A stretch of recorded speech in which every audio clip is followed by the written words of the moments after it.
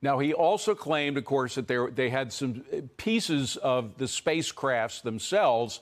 Now, your experience, you had a lot of flying experience. Your experience with watching these things, did they do stuff that is, is absolutely impossible for any spacecraft on Earth to do?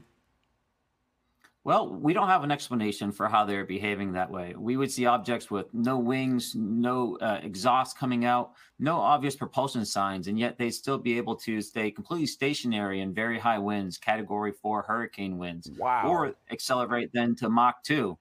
Uh, and these are spherical objects, very uh, non aerodynamic shapes. I'm a former uh, mechanical and aerospace engineer before I joined the Navy.